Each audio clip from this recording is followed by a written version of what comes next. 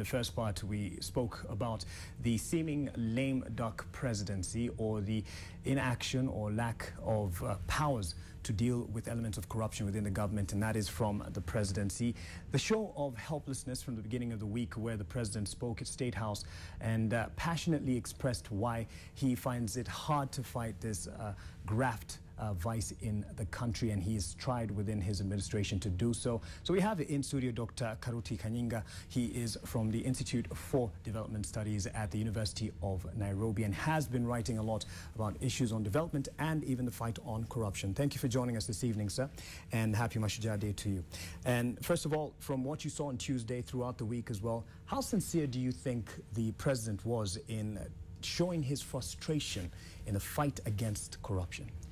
Uh, let me begin by saying that uh, I personally, from uh, where I sit, and after watching the president for a while now on this uh, fight against corruption, um, I've, I've, got a conviction that he's very sincere in the fight against corruption. Um, but uh, what I'm convinced about is that uh, the president could be alone in fighting corruption because he doesn't seem to be getting the support, not even from the political leaders next to him, doesn't seem to be getting support from uh, uh, leaders in various key institutions of government, doesn't seem to be getting key support even from polit uh, politicians within and outside parliament. And I am convinced that what we seem not to be seeing uh, is a war against the war against corruption. But someone would say, a layman watching this would say, he's a president. Uh, we should see some heads rolling if indeed he knows there's some elements of corruption within his administration. Um, I'm, not saying I should defend the president on this, but right. I think what you need also to realize as a Kenyan uh, society, the constitution has reduced the powers of the imperial presidency. Um, we have seen the president ordering people to go to Kiganjo and the court to say, no, you cannot do that. Uh, so we are living in the old mindset of saying that this is what needs to be done and this is what needs not to be done.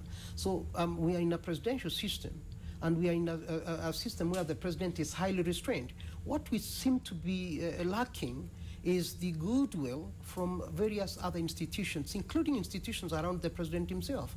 Now, the other thing we need to recognize is that we have, a, because we never took action on corruption from the very beginning, when the new government, came, when, when his government came to power, yeah. never pronounced itself on corruption, never pronounced itself clear on the rule of law, and therefore that created an opportunity for people to do things um, uh, uh, in, in vengeance, if one can, can, can, can, say that. But this would definitely paint his administration in bad light, and anyone in his good mind would want to at least give the best picture of what his government stands for, and the president definitely wouldn't let this pass him.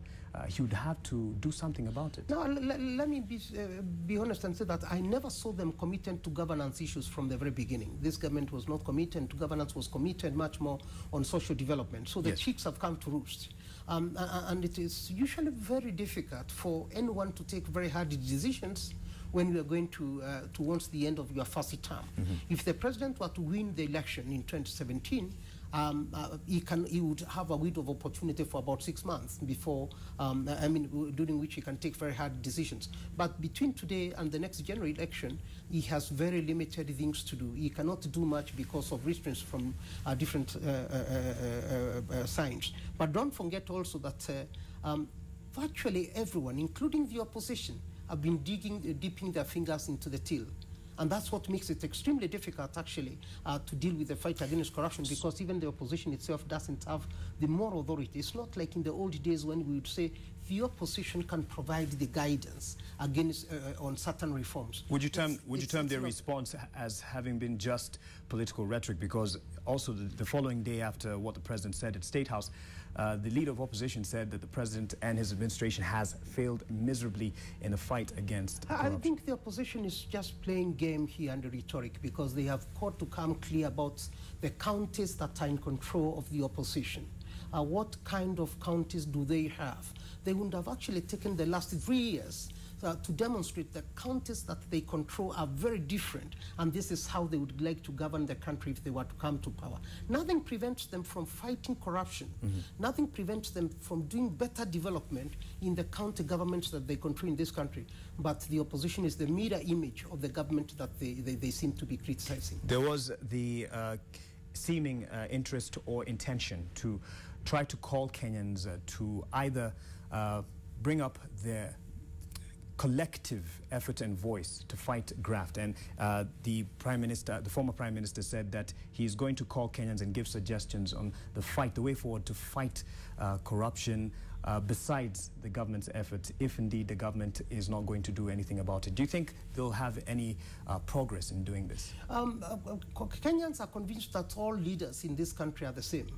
And therefore, to mobilize all Kenyans against, other, uh, against everyone becomes extremely difficult. But I would say, I would say that whoever uh, will be able to mobilize Kenyans against the fight against corruption, our fight against corruption, is the one who will stand up and say that we are going to a 2017 general election I would not like my political party to have members who have been who have committed any crime, to have members who have got any case in court, to have members who have abused public funds, and we want clean government. Uh, clean government. If the president were, were to wake up and say that Jubilee Party is going to be a clean party, we do not want leaders who have got a criminal case.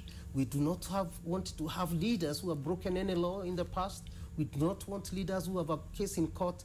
I'm telling you, he's going to have new leaders uh, that can fight co co corruption later on. Uh, even if the opposition were to do the same and say that CORD, in CORD we are saying we do not want anyone who has ever been commit, uh, who has ever committed crime, who has ever done this and that. That's what we will need. That's what we shall need when, a new, when we have got a new window of opportunity to do things. I must repeat here that the window, uh, the window to fight corruption for any new government does not last more than six months. All right. And, and speaking about uh, this first six months of the administration, if they were to listen in and take your advice, what do you think is are the first top priority areas that they should, action points that they should be uh, going for? Of course, the first thing to do is to ensure that you have jailed people uh, from the previous government, I mean from, from the previous uh, government, meaning uh, uh the previous elections. Um, uh, the governors, get into the governors and just start uh, putting them in, get into the MCAs and start jailing, putting them in. Um, but we must admit that if the judiciary, if the DPP, um, if the anti-corruption agency doesn't function, then you may not have an opportunity to do good investigations is, and put them in. Is that practical with the political loss that would be there? I mean, jailing those who support support. If, if you jail people in this country, if you jail people, it does not matter who you jail, actually your approval rating goes up. Today's President Kenyatta, Kenyatta's approval rating is higher than any other, uh, than anyone else before. Uh, it's uh, over 70%. Those people uh, who approve of, uh, of, him, perhaps it's because there is no alternative. But 70% is not a small thing. So, so if you are get to get out of the way and say that I want to put people in jail, that's a political sacrifice that we are making, and people give you the support that you require. Kenyans want to see actions. And if the president were to take action even on his own people, I think the president would have a very, very good, high return, uh, return chance. He would have more support from all corners of the country because that's the kind of commitment that is required. Well, people that, want to see sacrifice. Yes. And people want to see sacrifice not from your political enemies, but from your political friends. Okay, and from that, from that, uh, besides the jailing, what else needs to be a priority action point? Of course, put a robust system of improving on moral conduct of the Kenyan society. We are in a situation now where corruption has become not only com uh, complex, but it's widespread. It's there common in churches, it's in primary schools, it's in secondary schools, and then we have got also to tame the greed behavior. There is no single Kenyan today who is in public service who is not talking about salary increases.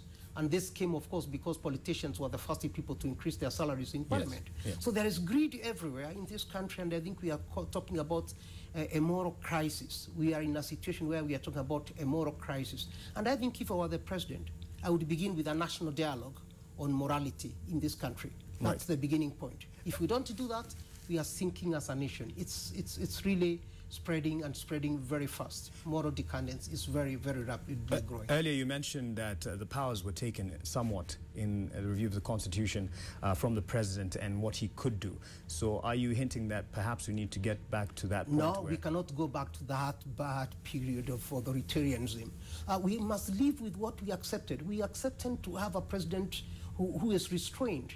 Because if you don't restrain that power, then it can easily be abused. And it's not a bad thing that we have reduced those powers of an imperial president, because these powers were deposited into various constitutional commissions and independent bodies. If these bodies were to do their work right, we wouldn't be talking about the failure of the president to, do, to fight corruption. If the Anti-Corruption Commission the Ethics and Anti-Corruption Commission were to do its job right, mm. we would not be here discussing corruption. But the Ethics and Anti-Corruption Commission has failed, A, on issues of ethics in this country. They have allowed, you have seen how MPs behave, yes. people fighting, mm -hmm. MCAs fighting in Nairobi here, MCAs fighting in Mombasa. Ethics and Anti-Corruption Commission has not taken someone to court to prosecute them for not abiding by integrity. And because the, public, the office you hold in public, you are holding it on behalf of Kenyans, and you should not disrespect that office. You should bring, bring honor to that office. We have not seen them saying, you have behaved in a manner that does not bring honor to the office that you hold. Right. That's a failure on the part. And let me also emphasize that there are very few anti-corruption commissions in this world that work. Okay. Hong Kong was the first one that worked. In Kenya here, we have seen no one work, uh, no anti-corruption commissioner that has worked effectively. But when the anti-corruption commission was in the hands of Salim Saleh, when it was under the police, they did a better job than anyone else. Maybe we should reconsider, even if we say that our police is corrupt, once we give them the responsibility to deal with corruption, I think we can see better changes, better changes than we have seen. Right. They pursue cases of murder. Right. And, and bring people to, to, to account. What it, is it that we can give the police powers to deal with some of these issues and they will do them very effectively. I think so. You've spoken about the failure of the Anti-Corruption Commission in actually bringing uh, people to book. Uh, but is it a surprise to you that people haven't shown the greatest of interest in pursuing that top office at the EACC, uh, given its, its history? Of course, that's EACC now has been a, a, career destroyer. I mean, anyone good applying for that office knows very well that your days are numbered and you'll mess your career. Yes. It's just like applying for any other public post in, uh, uh, in this country. So what's our recourse? Uh, the public dialogue that we are talking about, uh, discussing the moral decadence in this society. We need to have a discussion around that. Okay. And we haven't had that dialogue yet. All right. We, and, and we have not had that dialogue. We have had a dialogue, for instance, on things like ethnicity or tribalism in this country. That dialogue is in place. We need a dialogue on greed, we need a dialogue on morality and moral decadence in this country for yes. us to move forward. Yes, there always seems to be uh, the responsibility laid on the presidency, the buck stops with the presidency. Is it really uh, the silver uh, bullet? Does it lie with uh, one man uh, when, when the president needs speaks? To, he needs to provide leadership. He needs to provide leadership, and that's why I'm saying, for instance, the doors for doing anything hard now have closed. How much of that responsibility also lies on the citizenry? A lot a lot. All the citizens bear responsibility. Or if we, if we citizens and accept that we have a responsibility to make Kenya a better society, we would not be depending on the president that uh, he should give us guidance. Thank it you. is our failure actually as a society, and it's not the failure of one man alone. Yes, he has the responsibility to, take, to give us leadership, but we also shown that the burden of proving that we can do things better. And we need to do uh, to make a step forward and do things better. A good place to end this conversation at this time. It doesn't end here, although uh, it continues throughout the week.